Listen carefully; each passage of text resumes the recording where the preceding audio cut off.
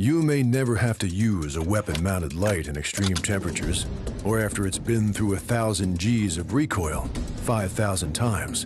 But Streamlight believes that when you really need a tactical light, that's no time to test it. So we put our tactical lights and lasers through the toughest, most demanding tests in the industry to offer you the widest array of weapon-mounted lights with a little something extra. Peace of mind. Heroes trust Streamlight.